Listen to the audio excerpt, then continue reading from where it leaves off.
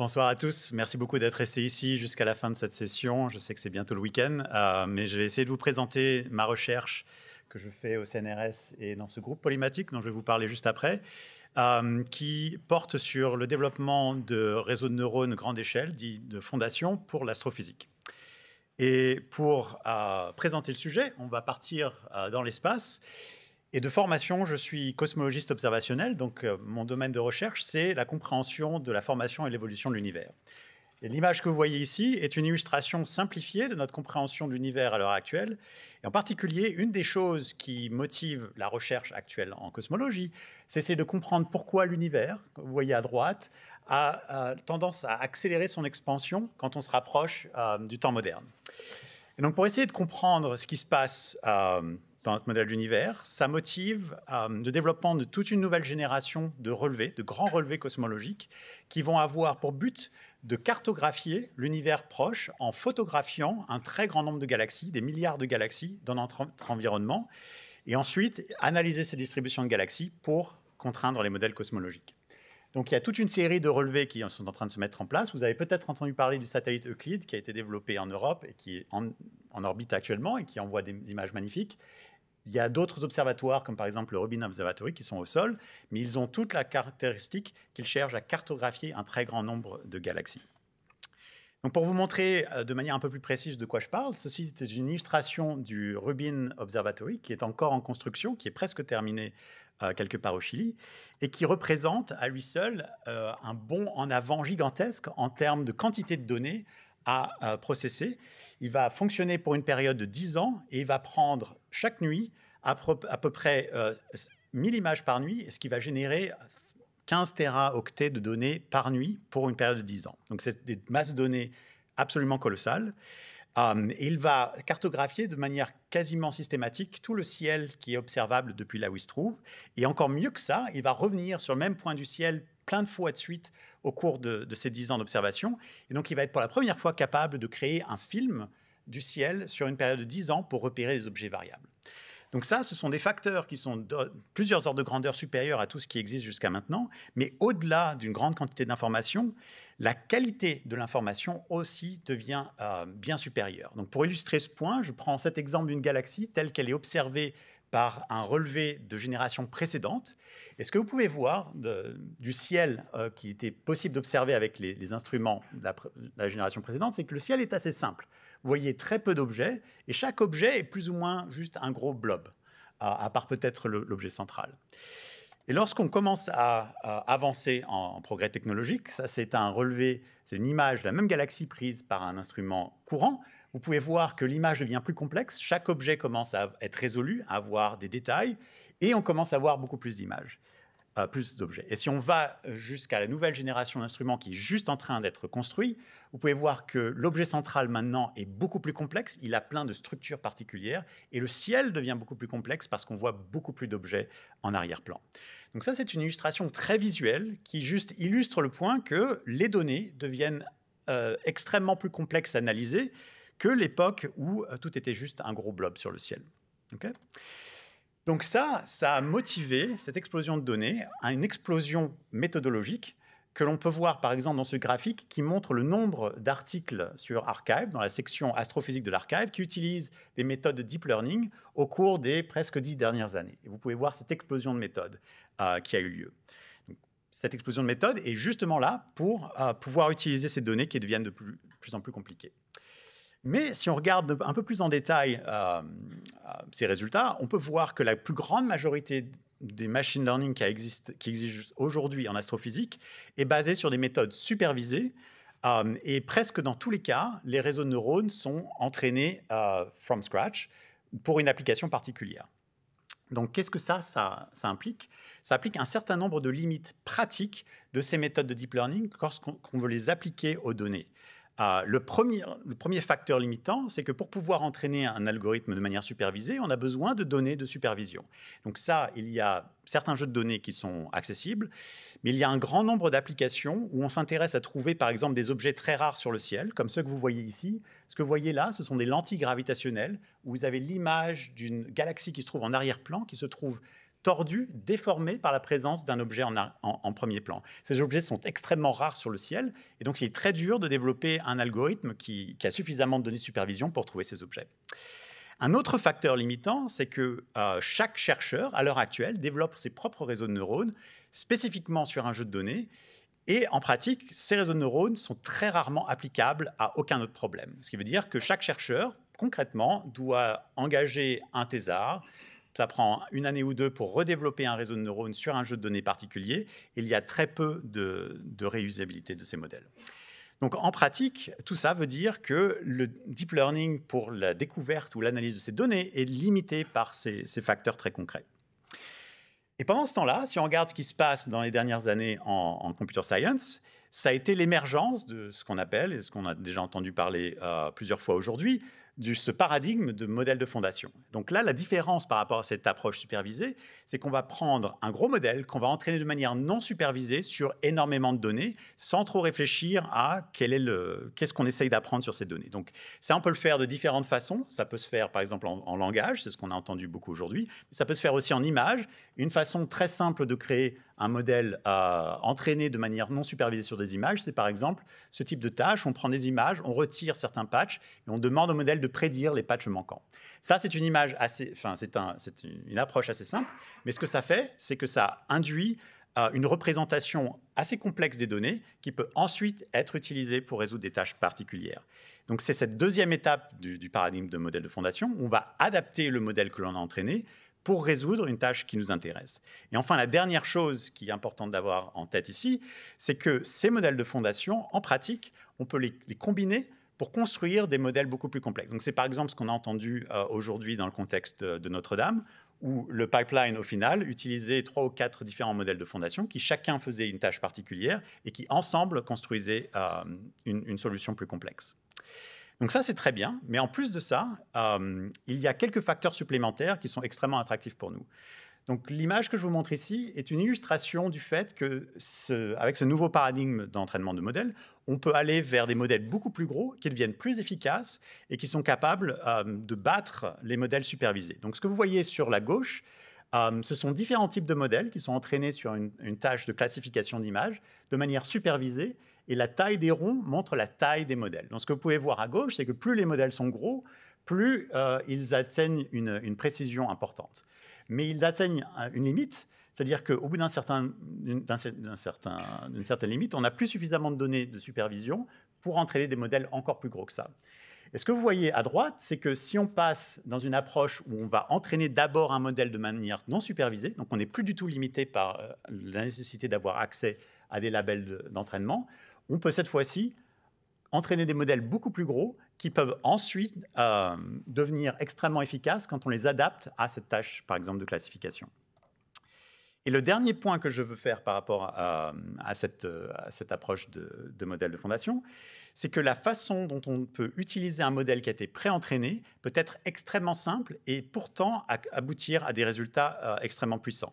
Donc pour, euh, pour vous expliquer ce point, par exemple, une chose à savoir, c'est que la plupart de ces modèles de fondation pré-entraînés, par exemple sur image, ont la capacité d'encoder une image juste dans un vecteur, euh, dans une représentation vectorielle de différentes tailles.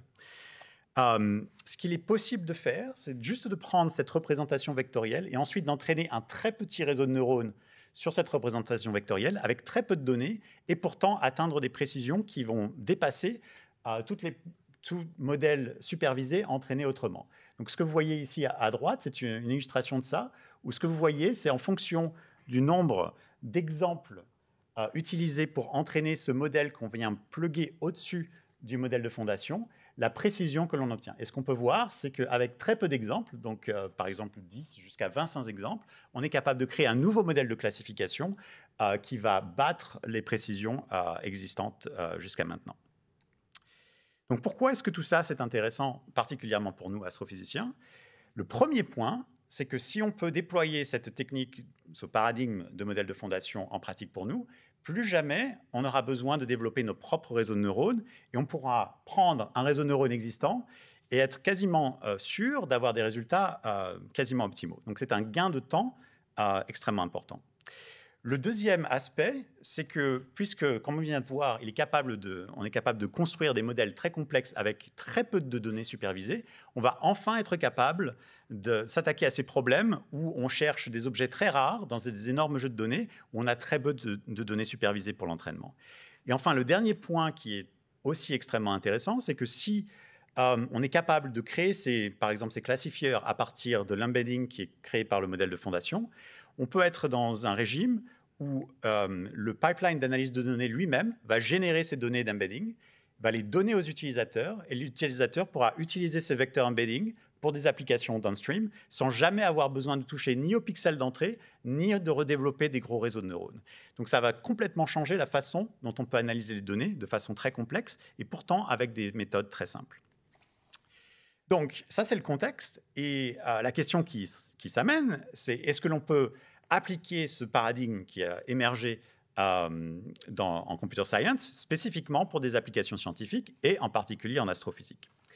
Et ça, c'est la question principale qui motive euh, cette équipe que nous avons démarrée euh, l'année dernière et qui regroupe des chercheurs interdisciplinaires, donc par exemple comme moi, des chercheurs en computer science spécifiquement et des chercheurs en physique à travers un très grand nombre d'institutions et qui aussi regroupe euh, un certain nombre d'advisors de, qui, qui, nous aident dans notre démarche. Et donc, une des questions à laquelle on s'est attaqué avec notre groupe, c'est de voir si on peut appliquer ce paradigme euh, dans des applications concrètes. Et là, on se rend très vite compte que contrairement euh, à ce qui se passe en computer science, où les données sont assez simples, ce sont des images qui sont en général très standardisées, ou du texte qui est très standardisé, euh, ce qu'on trouve, c'est que dans des applications scientifiques, il est en général très difficile d'obtenir des jeux de données d'entraînement qui sont de taille équivalente à ceux qui existent de nos jours et qui servent à générer des modèles de fondation. Donc, par exemple, euh, des modèles, des, données d'entraînement du genre Leon 5B, qui est 5 milliards de textes et d'images euh, rassemblés, n'existent pas dans des, dans des domaines d'application scientifiques particuliers. Et un autre point important qui, émerge rapidement quand on réfléchit à la question, c'est que les données scientifiques sont beaucoup plus complexes que euh, de simples images que l'on peut trouver sur Internet. Donc, par exemple, pour illustrer ça, ce que vous voyez ici à, gauche, ce sont trois images de la même région du ciel, et pourtant ces trois images sont différentes. Pourquoi elles sont différentes? Ce n'est pas parce que le ciel est différent, mais c'est parce que l'instrument est différent. Donc ça veut dire que si je veux pouvoir faire une mesure précise de la propriété d'un des objets que je vois ici, j'ai besoin de comprendre comment cet objet a été mesuré et d'où vient cette image. Donc j'ai besoin de pouvoir intégrer les métadonnées qui viennent avec les données dans un même système afin de répondre à ces questions. Et enfin, un dernier point important, c'est que les données scientifiques ne sont pas limitées simplement à des images ou à du son ou à du texte, mais peuvent être beaucoup plus variés. Donc, ce que vous voyez à gauche ce sont des images, c'est assez classique. Ce que vous voyez à droite, c'est un type de données différent. Où on va regarder une galaxie particulière, et au lieu d'en faire une image, on va regarder euh, l'énergie, euh, ou plutôt la, quantité de lumière qu'émet cette galaxie en fonction de la longueur d'onde. C'est ce qu'on appelle un spectre euh, optique de cet objet. Ça, ça contient extrêmement, c'est très riche en informations, et c'est très complémentaire à des données d'image, mais c'est différent. Et on peut, il y en aurait beaucoup d'autres dont je pourrais parler, mais ça, c'est par exemple encore un autre type de données, des images hyperspectrales, où cette fois-ci, on a quasiment un spectre pour chaque, euh, pour chaque point dans l'image. Donc le point euh, essentiel euh, sur lequel je veux venir ici, c'est que lorsqu'on commence à réfléchir à comment développer des modèles qui peuvent intégrer toutes ces complexités, on peut en fait réfléchir à une sorte de spectre qui pourrait être réparti de cette façon entre des modèles qui seraient très spécifiques pour chaque type de données qu'on utilise, ou des modèles qui seraient très génériques et qui seraient capables d'ingérer tous ces types de données et de pouvoir être utilisés euh, pour résoudre un certain nombre de tâches euh, au sein d'un seul, et même modèle. Donc, jusqu'à maintenant, dans la littérature en astrophysique, euh, tous les modèles qui ont été développés pour s'attaquer à différents types de données, donc par exemple ici des modèles pour attaquer des, des, spectres, comme on vient de voir, ou des modèles pour attaquer des images, étaient spécifiquement développés pour un type d'instrument, un type de données, euh, et jamais aucune connexion entre les deux. À l'autre limite, là où on aimerait pouvoir aller euh, un jour, euh, c'est d'avoir un seul type de modèle qui serait même capable de lire les informations au niveau binaire dans le disque directement. Donc ça, c'est ce qu'on pourrait imaginer de plus général. il n'y a rien de spécifique à une seule type de modalité. Il y a déjà des types de modèles qui, ont été développés cette année ou l'année dernière qui essayent de s'attaquer à cette limite-là. Mais dans le, premier exemple que je veux vous montrer d'application concrète, on n'est pas allé jusque-là. On s'est attaché euh, à essayer de résoudre ce problème de combiner différents types d'observations au sein d'un même modèle. C'est un modèle qu'on appelle AstroClip et dont je vais vous parler juste maintenant. Donc c'est un, vous pouvez trouver le, papier archive ici. Il est actuellement en soumission à Monthly Notices of Royal Astronomical Society. Et ça, on va bientôt le mettre sur archive et ça va être une, une update importante par rapport à la première version qu'on avait.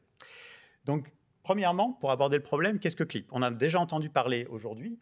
CLIP est une technique qui permet euh, d'encoder différentes modalités, que ce soit image ou texte, par exemple, euh, originalement dans le papier d'origine, et en sortie de l'encodeur, la, fonction de coût est telle que si euh, deux images, une image et du texte sont corrélés ensemble ou devraient être associés, euh, l'embedding de, ces deux modalités vont avoir tendance à être alignés. Euh, mais s'ils ne sont pas associés, le modèle va, avoir, va essayer de, de, les repousser, de faire en sorte que dans l'espace d'embedding, ils soient distants très loin de l'autre donc ça, c'est une tâche qui paraît suffisamment simple, mais qui en fait se trouve être très complexe et capable d'extraire énormément d'informations de chacune de ces modalités. une fois que vous avez entraîné ce modèle, il y a un certain nombre de capacités qui, émergent euh, directement. Par exemple, ce qui s'appelle euh, le Zero Shot Prediction, où euh, on a juste entraîné ce modèle d'embedding, on peut le transformer très facilement dans un modèle de classification.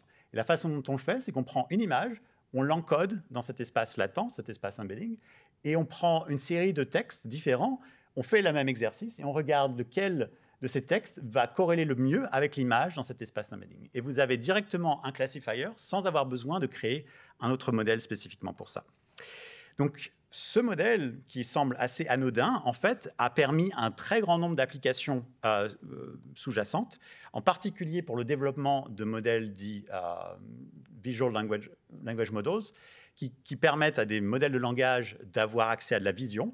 Donc ça, c'est un type de modèle qui, était à la mode, on va dire, il y a un an ou deux, euh, et qui permettait de combiner, à partir d'un modèle clip euh, pré-entraîné, le combiner avec un modèle de langage pour pouvoir poser des questions à un modèle de langage avec des images.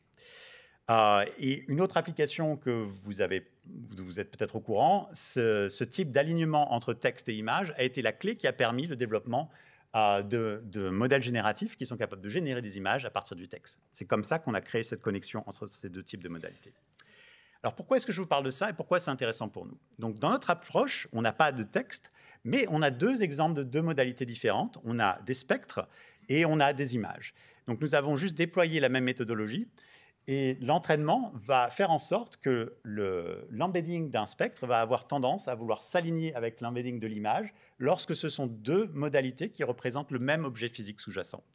Et le reste de la démarche euh, se comporte exactement comme le modèle clip d'origine.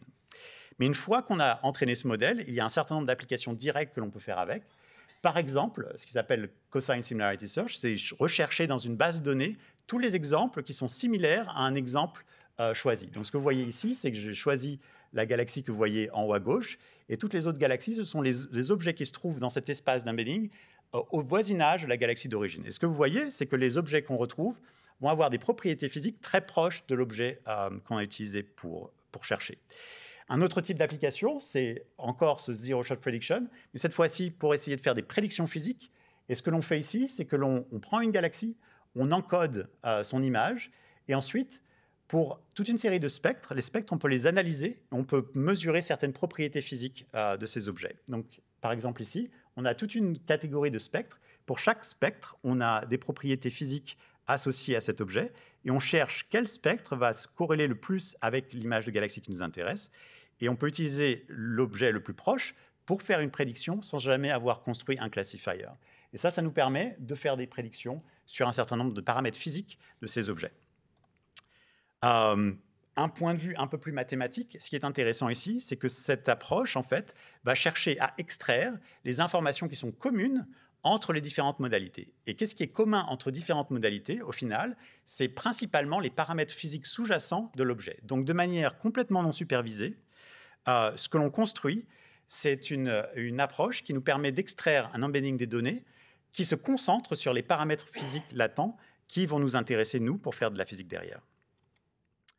Euh, je vais passer un peu les détails de comment est-ce que l'on construit le modèle en pratique. Euh, on utilise des modèles de transformers, on pré-entraîne les modèles de transformeurs juste pour relier à ce qu'on a entendu plus tôt dans la journée avec un modèle de type Dino qui nous permet de créer un gros modèle de, Vision Transformer que ensuite on va aligner avec la modalité spectrale.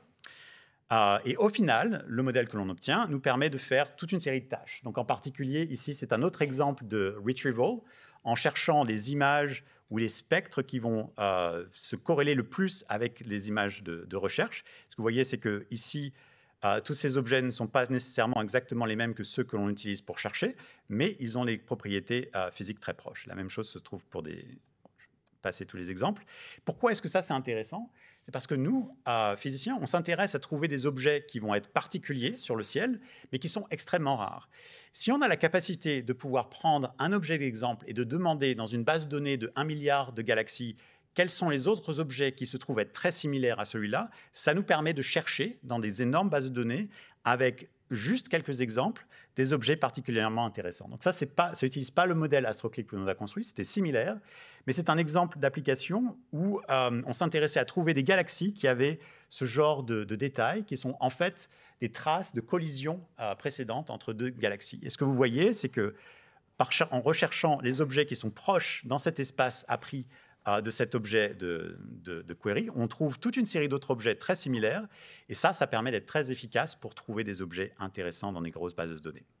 Au-delà de ça, on peut aussi utiliser l'embedding qu'on a construit de cette façon pour extraire de l'information physique. Donc, ce que je veux vous montrer ici, c'est un paramètre physique d'une galaxie qui a à voir avec la distance par rapport à l'observeur de cet objet. Ce que vous voyez ici à gauche, c'est deux, deux baselines d'estimation de cette distance en utilisant uniquement la couleur de la galaxie à droite ou en utilisant l'image de la galaxie avec un ResNet. Ce que vous voyez, c'est que le ResNet est capable d'avoir une prédiction qui est un peu plus piquée autour de la vérité. Donc il y a plus d'informations dans l'image que dans les couleurs.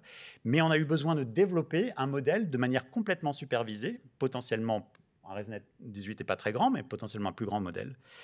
Euh, et euh, contrairement à ça, si on utilise une approche de zero shot, c'est-à-dire il n'y a aucun réseau de neurones entraîné au-delà du modèle euh, CLIP, on utilise par exemple ici juste les plus proches voisins dans cet espace embedding, on obtient un modèle à gauche qui fait cette prédiction de ce paramètre physique qui atteint une précision similaire, voire supérieure à celle du modèle supervisé, sans que l'on ait eu besoin d'avoir euh, un jeu de données de pré-entraînement supervisé. Et ça, c'est extrêmement puissant pour toute une série de problèmes. Ici, c'est la même chose mais on s'intéresse à d'autres paramètres, par exemple la, masse stellaire de la galaxie ou combien de, stars, d'étoiles elle est en train de former. Et on peut appliquer le même modèle pour résoudre d'autres problèmes, par exemple la classification de la morphologie de la galaxie, malgré que ça n'ait jamais fait partie de manière explicite euh, des données d'entraînement euh, ou du problème d'entraînement. Donc je vais passer les détails, mais pour nous, ça représente un, un bond en avant en matière de réusabilité de modèles développés. Et enfin, pour finir, je vais vous parler de notre, notre prochaine étape sur euh, notre roadmap vers les modèles complètement généraux, qui, au lieu d'essayer de construire un embedding des données, va plutôt s'attacher à, combiner, à fusionner des données d'origine différente dans un même modèle pour résoudre euh, des tâches différentes. Et ça, c'est un travail qui est actuellement en cours et avec lequel euh, nous sommes en contact avec l'IDRIS, parce que cette approche à base je vais vous montrer, de Transformer est encore plus ambitieuse que, le modèle précédent. Ça va demander beaucoup plus de données et ça demande aussi beaucoup plus de ressources de calcul pour pouvoir construire ces modèles. Donc, je vais un peu passer euh, sur les détails, mais l'approche que l'on essaye de déployer ici, c'est au lieu de créer un système d'embedding comme précédemment, ce qu'on veut créer, c'est un modèle qui est capable d'ingérer différentes modalités de données de manière jointe. Et la stratégie que nous, appliquons, c'est une stratégie qui est à la mode ces temps-ci, par exemple ce modèle qui est sorti la semaine dernière, Caméléon, la façon dont il fonctionne, c'est qu'il va prendre tous les types de données et il va les retransformer d'une façon euh, uniforme sous la forme de tokens. Donc, ce que vous voyez ici, c'est par exemple ce modèle va prendre du texte, le transformer en token de manière classique, mais il va faire la même chose pour des images. Prendre une image, la couper en token et la représenter en, un certain nombre de nombres qui vont être euh, fournis à un modèle de transformer. Et le modèle de transformer apprend la distribution jointe de toutes ces données qui ont été standardisées sous la forme de token. Euh, pourquoi est-ce que ça c'est intéressant? C'est parce que le modèle maintenant euh, peut non seulement créer des embeddings, mais aussi répondre à des questions. Donc ça, ce sont des exemples de, d'application de ce type de modèle où on est capable de demander au modèle de générer des, bounding box ou de générer des images à partir d'informations de bounding box ou pareil, à partir d'une image de segmentation d'un objet, par exemple ici un canard, on peut demander au modèle de régénérer euh, le canard qui se cachait derrière. Donc ça, c'est assez rigolo, ok, mais pourquoi est-ce que ça nous intéresse, nous? C'est parce que euh, une des limites auxquelles on est confronté en pratique, c'est la complexité au niveau des pixels des données que l'on a analysées. Donc ce que je vous montre ici à gauche, euh, c'est un exemple de segmentation de galaxies où on s'intéresse à séparer les bras d'une galaxie du centre de la galaxie. En fait, différents types euh, de process ont lieu entre ces différents emplacements dans une galaxie et il est très difficile a priori de séparer ces différentes régions euh, avec des méthodes standards. Donc, vous voyez le résultat d'une méthode standard Davis 2014 qui fait un résultat très approximatif. Mais si on est capable de créer des modèles qui sont capables d'apprendre à un niveau profond au niveau des pixels les données, on va être capable d'aller au-delà. Un autre exemple, c'est juste séparer euh, différentes images de galaxies sur le ciel quand elles se recouvrent. Euh, ce que vous voyez au, milieu ici en haut, c'est l'application d'un modèle standard, d'un pipeline standard sur la séparation de composantes on essaye de séparer la lumière de cette galaxie que vous voyez en, avant-plan. Et ce qui se passe, c'est que le modèle va juste découper la galaxie en plein de morceaux différents parce qu'il n'a pas la compréhension profonde de à quoi ressemble une galaxie. Et donc c'est ce genre de choses que l'on pense que l'on peut améliorer avec, cette approche. Alors, euh, juste pour finir, c'est encore quelque chose sur lequel nous travaillons. Et une des étapes fondamentales pour pouvoir développer des modèles à cette échelle et à cette complexité, c'est le développement de, euh, de jeux de données approprié.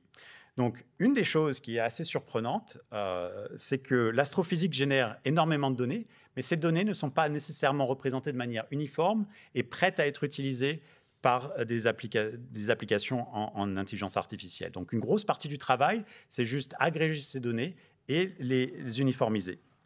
Euh, une autre, un autre aspect important du développement de ce type de jeu de données, c'est que chaque type de données demande une expertise bien particulière pour comprendre quelle est la donnée, comment l'utiliser et qu'est-ce que je peux en, obtenir. Donc moi, je suis par exemple expert de ce type de données, mais je ne suis pas expert de ce qui se passe sur un spectre.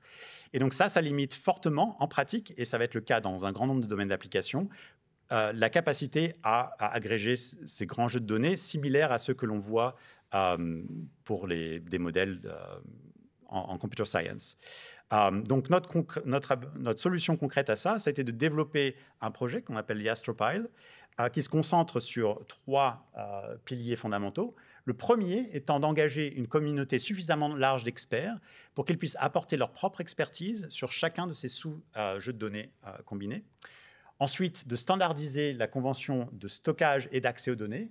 Et enfin, de faire en sorte de couvrir une base suffisamment large de différents domaines, de sous-domaines en astrophysique, pour pouvoir créer un même modèle qui va être capable d'être appliqué dans un très grand nombre de, sous-problèmes différents. Et je vais peut-être passer ça.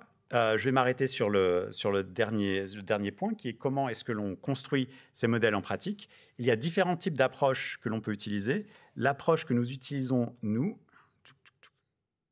que l'on se propose d'utiliser, euh, est basée sur ce modèle euh, qui s'appelle Forem et qui est une solution pratique pour modéliser la distribution jointe des différents types de modalités. Donc, dans leur papier d'exemple, ce qu'ils font, c'est qu'ils modélisent euh, des images, des cartes de, profondeur ou des, segmentation maps en les transformant toutes en une série de tokens, comme on en a parlé, et ensuite en entraînant un modèle qui est capable de prédire certains tokens étant donné d'autres tokens en entrée, et de faire ça pour n'importe quelle combinaison de tokens d'entrée ou de tokens de sortie.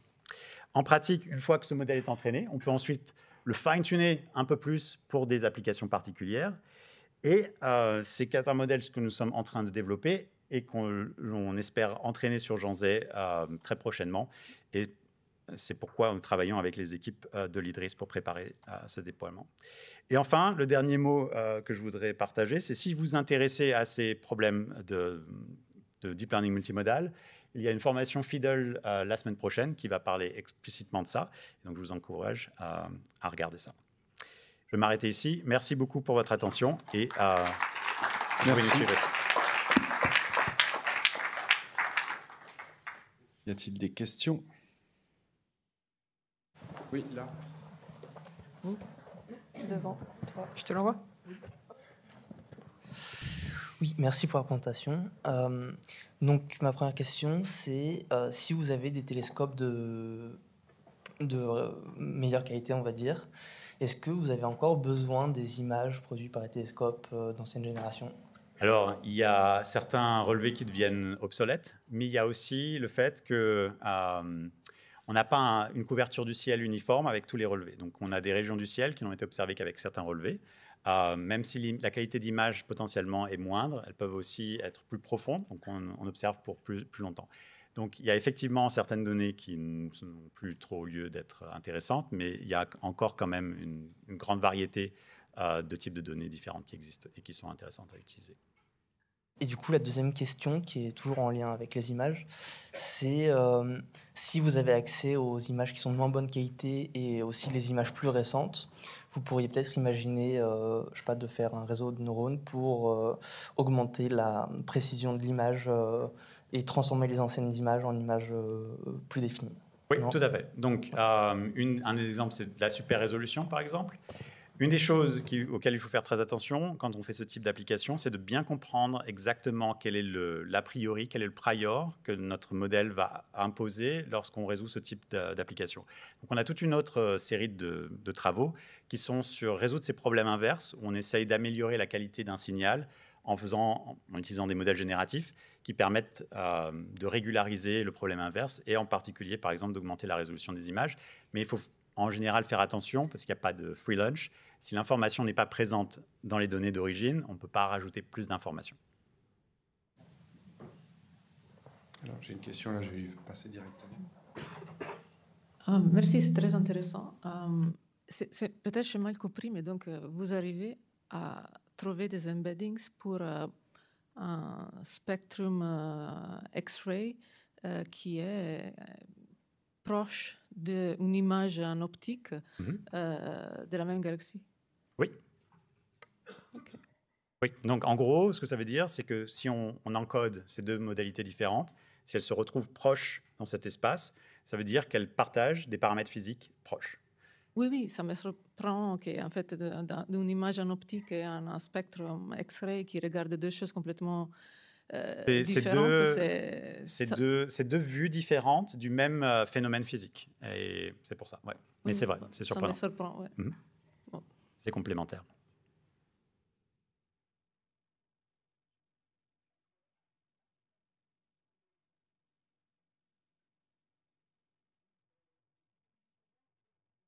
de la journée de formation du 30 mai.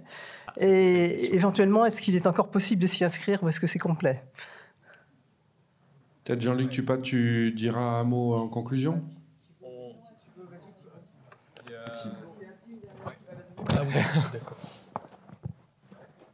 euh, on m'entend. Donc euh, du coup, euh, c'est la semaine prochaine, c'est une séance de Fiddle classique. Donc c'est deux heures sur la multimodalité. Et du coup, on va voir les embeddings multimodaux, hein, avec notamment l'exemple de clip.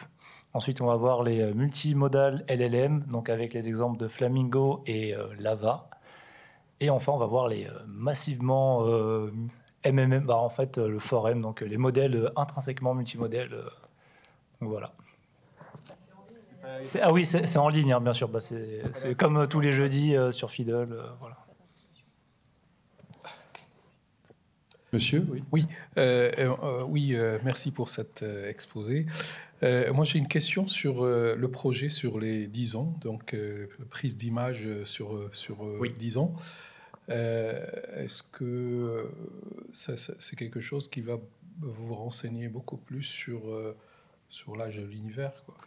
Le fait d'avoir toute cette euh, évolution dynamique de, des images euh, sur toute cette période, est-ce que c'est quelque chose qui, donne plus, qui va donner plus de détails sur... Euh, oui et non.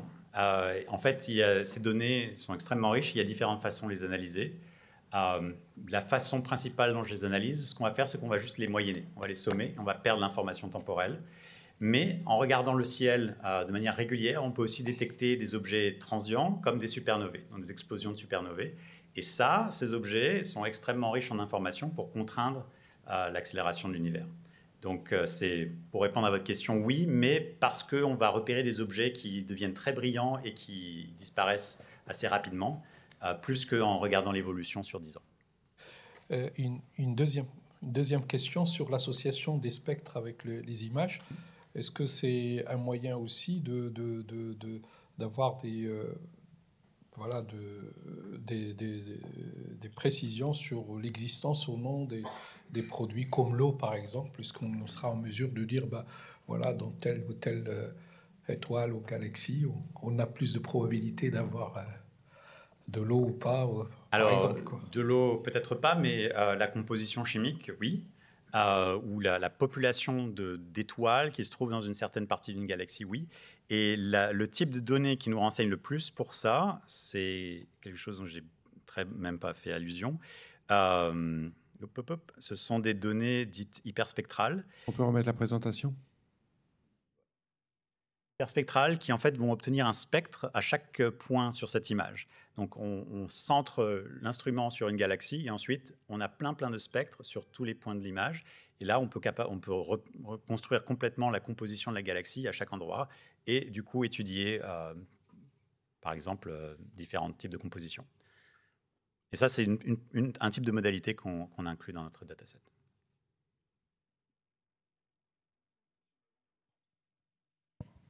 Merci beaucoup pour la présentation, c'est fascinant. Et euh, non, j'avais une question. Vous avez parlé beaucoup de, recherche de similarité à, travers les, embeddings. Et du coup, je me demandais si vous avez fait l'exercice inverse, donc à savoir euh, plutôt une recherche de dissimilarité hmm. pour identifier des objets euh, stellaires qui ne bah, qui sont pas communs ou qui ont des propriétés particulières. Euh, la réponse est non, euh, mais c'est une bonne question. Oui, euh, oui on l'a pas fait. Simplement, je me demandais simplement si il vous suffit d'avoir pour chacune des modalités la localisation de, du point, de ce qu'elle pointe pour définir vos datasets et pour laisser le modèle joindre tout ça ensemble et, et comprendre qu'il s'agit du même objet, etc. Exactement. Donc c'est la stratégie qu'on utilise. C'est le dernier point sur ce, en, gras. On, récupère un grand nombre de données, images, spectres et tout ça, et on les labelle toutes par leur position sur le ciel. Ensuite, on fait une, recherche jointe de tous les objets qui vont être détectés dans un des catalogues euh, à cet endroit sur le ciel. Et ça, ça va nous composer une série d'observations euh, jointes pour un même objet qu'on va ensuite donner au modèle pour, euh, pour apprendre jointement les différentes observations pour un même objet. Du coup, avec le décalage vers le rouge, vous avez aussi la donnée temporelle d'évolution alors, euh, le décalage vers le rouge nous donne effectivement la, donnée de distance ou d'âge, effectivement, d'un objet particulier. Ça, on peut le détecter ou le mesurer directement à partir d'une image telle que celle-ci, à, travers la couleur qu'on va avoir dans une galaxie. Mais si on a aussi un spectre, ça va fixer de manière très précise ce décalage vers le rouge, parce que le spectre nous renseigne précisément là-dessus, et ça va retirer un certain nombre de dégénérescences avec d'autres paramètres physiques. Et du coup, le modèle est capable d'être euh, régressif ou, de simuler la, alors, la marche de l'univers depuis Alors, le, modèle, une façon auquel on n'avait pas trop pensé à faire ça, mais ce qu'on pourrait faire, c'est effectivement, euh, une fois que le modèle est entraîné, on peut le conditionner sur cette variable qui est le redshift, et on peut euh, sampler différentes réalisations de l'image d'une galaxie en fonction du redshift. Que ça va faire, je ne sais pas, mais on pourrait faire varier l'âge ou autre. En général, on fait l'inverse, on part des données et on essaye d'estimer ces paramètres, mais on peut aussi étudier l'influence d'un de, ces paramètres physiques sur comment les observations vont avoir, vont, à quoi vont ressembler. Merci. Une autre question à côté? À côté oui, bonjour, merci pour votre présentation. Euh, par rapport à votre idée de modèle fondamental, est-ce qu'on peut envisager que ça devienne une sorte de modèle universel par, votre, par rapport à votre champ d'études pour l'ensemble des équipes qui vont travailler sur euh, ce sujet, de sorte que vous bénéficiez de davantage de, de jeux de données issus de ces équipes-là et qu'il y ait une sorte d'homogénéité dans l'ensemble des études qui vont être menées grâce à ce modèle? Est-ce que j'ai bien compris la, est-ce que cette idée, euh, vous l'avez bien exprimée? Ça fait tout à fait partie oui, de, de ce qu'on cherche à faire. Et donc, euh, à terme, ça sera exactement ça. On aurait les données qui seraient standardisées d'une certaine façon, qui est facilement accessible pour l'entraînement de, réseaux de neurones. Et on aurait des modèles euh, typiques, ou quelques-uns, un ou plusieurs, qui sont entraînés de manière bien déterminés sur des jeux de données bien standardisés et qu'ensuite les gens n'ont plus besoin de redévelopper ça par eux-mêmes et peuvent juste attraper le modèle qui va être le plus approprié pour faire ce qu'ils veulent, peut-être le fine-tuner un peu plus. Puisque votre modèle, quelque part, c'est une sorte de banque de données d'espace latent pour tout un corpus d'informations que vous avez compressé quelque part. Une façon de, penser ces modèles, c'est juste euh, une façon d'ingérer ces données, de les représenter sous la forme d'un modèle qu'on peut ensuite utiliser pour résoudre un certain nombre de tâches. Et ça se retrouverait dans GameFest ou dans un équivalent pour la science? Alors, donc, euh, il n'y a pas encore d'équivalent pour la science, donc ça sera certainement... Un futur, peut-être. Oui, mais tout à fait. Donc, euh, notre but, même à terme, c'est d'aller plus loin qu'un domaine particulier, que ce soit l'astrophysique, par exemple, d'avoir des domaines adjacents, parce que quand on regarde dans les détails, euh, si je regarde un spectre d'une galaxie, je vois des traces, par exemple, d'éléments chimiques bien particuliers que je peux retrouver dans d'autres domaines qui font de mêmes mesures et qui font apparaître les mêmes éléments chimiques. Donc les, les, modèles qui auraient compris ce type de dépendance dans les données pourraient aussi être utiles dans d'autres domaines, même pas reliés directement à l'astrophysique, qui touchent à ce même type d'observation. Donc notre but ultime, ça serait d'atteindre la, limite à droite que j'avais, où toutes les données qu'on peut agréger, on peut les, les, insérer dans un même modèle et ensuite utiliser pour résoudre un grand nombre de tâches différentes. Pas tout à fait là, mais c'est la limite. J'ai une question complémentaire en fait. Est-ce que parce que du coup on voyait un télescope euh, au début de la présentation, est-ce que du coup euh, ce modèle ultime il est il est voué à être embarqué avec euh, des futurs télescopes ou à être rajouté directement en sortie des CMOS des télescopes? Alors directement en CMOS, ça, ça, va rendre beaucoup de gens pas contents du tout si on fait ça, mais intégré dans les pipelines d'analyse de ces grandes expériences, c'est des, des, énormes morceaux de code, ça très certainement oui. Donc on n'y est pas encore, mais dans quelques années, c'est très vraisemblable qu'il y aura un embedding de chaque détection euh, que les gens pourront exploiter et qui sera standardisé et intégré dans le, le processing des données. Très bien. Y a-t-il encore des questions? Oui, madame. Alors pour, pour rebondir là-dessus, je voudrais savoir dans combien de temps vous pensez que ce grand relevé euh, général sera disponible pour la communauté? Euh, L'instrument que j'ai montré ou, ce modèle euh, dont on parle Non, non le, le, modèle qui regroupera toutes les données. Alors, donc, je ne pense pas qu'on va le générer en une fois. Ça va être un, un processus itératif. donc, le premier, la première génération de modèles qu'on espère pouvoir donner à la communauté, ça sera sûrement d'ici la fin de l'année, euh, en automne. Et à partir de là, on va continuer à développer des technologies supplémentaires et à les intégrer.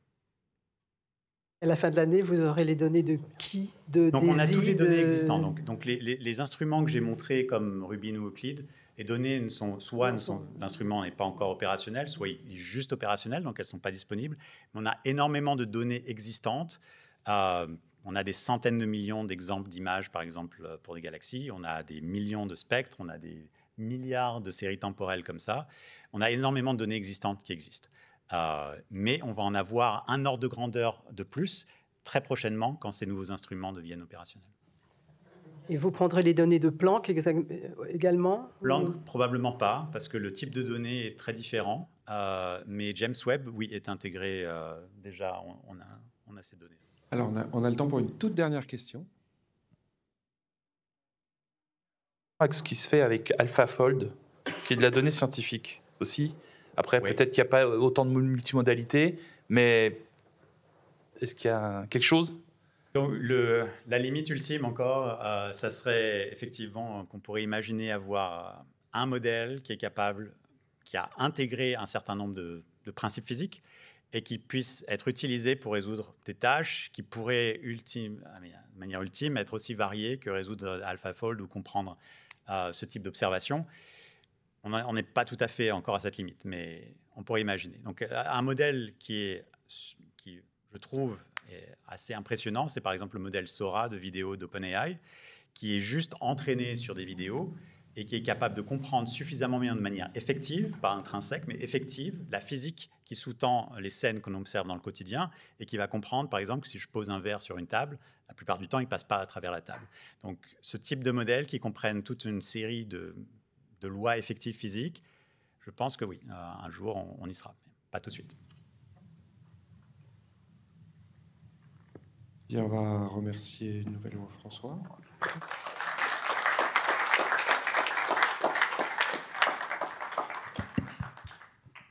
Et je passe le micro à Jean-Luc.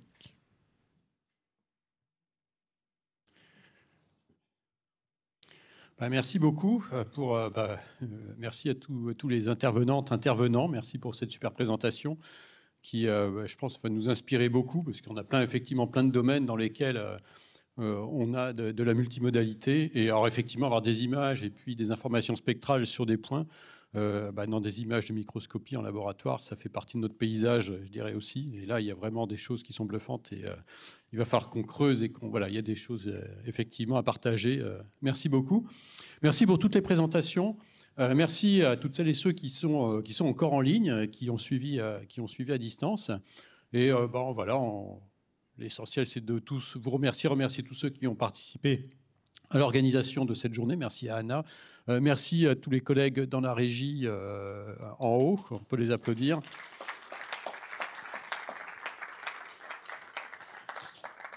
Merci à tous les collègues du CNRS euh, ici ou, ou, dans nos délégations qui ont contribué à l'organisation de, de, cette journée en faisant nos missions, en gérant nos budgets, en gérant l'auditorium ici. Et puis, ben voilà, il reste plus qu'à vous donner un rendez-vous donc, euh, pour une, euh, alors pas une prochaine JDLS, mais des prochaines JDLS. Donc, euh, les JDLS 2025 se déclineront au pluriel. L'idée, c'est de faire, donc vous avez même les dates, 2 au 5 juin 2025. Vous pouvez noter ça et bloquer vos dates dans vos agendas. Donc, ça sera trois jours de formation étalés sur quatre pour faire. Alors, on a vraiment de la formation dans le prolongement de FIDEL, dans le prolongement d'IPDL, dans le prolongement des formations d'introduction que, l'on organise par ailleurs. Donc, ce sera voilà, voir concrètement comment euh, implémenter, comment utiliser Clip, euh, par exemple. Euh, et ça sera au bord de la mer. Le logo, on m'a demandé tout à l'heure pourquoi le logo c'était une baleine. Ben, on ne savait pas, mais maintenant on sait en fait. Voilà, c'est parce que la, prochaine JDLS sera en bord de mer, au Lazaret. Euh, voilà, donc ça va être un gros travail de préparation, mais on vous donne rendez-vous dès maintenant pour, pour, pour, pour, participer sur scène si vous souhaitez animer des ateliers durant ces sessions-là et puis en salle, si ça vous intéresse de venir participer à ça. Voilà, rendez-vous le jeudi prochain pour la multimodalité grâce à Tim. Euh, donc voilà, on va revoir Clip de, plus près, euh, Clip et ses copains euh, la semaine prochaine. Donc il n'y a pas d'inscription, hein, c'est en ligne, c'est sur notre chaîne YouTube et c'est totalement accessible. Autre rendez-vous et dernier rendez-vous, c'est le Panoramia, le magazine de l'actualité de l'intelligence artificielle. Et le prochain Panoramia, c'est voilà, fin juin, en, voilà, courant juin. Voilà, merci, euh, merci beaucoup. Je ne sais pas si euh, quelqu'un veut rajouter quelque chose. Pierre-François, tu veux dire un mot? Non, c'est tout bon. Ou, ou Jean-Philippe. voilà, merci beaucoup. Et puis voilà, vous pouvez même nous envoyer la musique en régie si vous l'avez sous le coude. Voilà, merci beaucoup.